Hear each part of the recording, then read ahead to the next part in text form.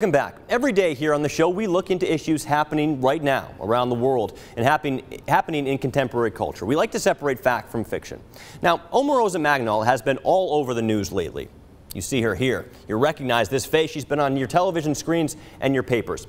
Now, she's been in the news for her decision to release secret recordings of her time during the White House staff. Now, she's been on an all-out media tour to promote her book Unhinged. On one appearance on The Daily Show, she made this claim. She said, quote, he said, referring to the president, he would help reduce the violence in Chicago, and as we know, having seen 600 murders this weekend. Now, she appeared to be making a reference to the number of murders in Chicago the previous weekend, where there was admittedly a number of incidents involving gun violence. But a check with our NBC affiliate in Chicago reported just one murder that weekend. In fact, the numbers show that Chicago hasn't seen 600 murders in all of 2018 combined. That number is closer to 300. So we can verify that the claim that there were 600 murders in Chicago last weekend is patently false.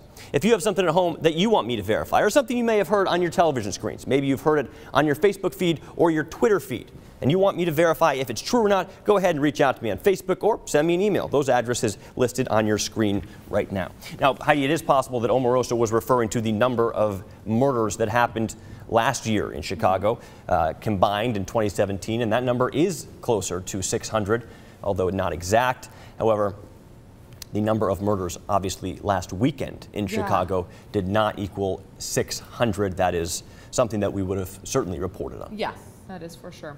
Well, let's go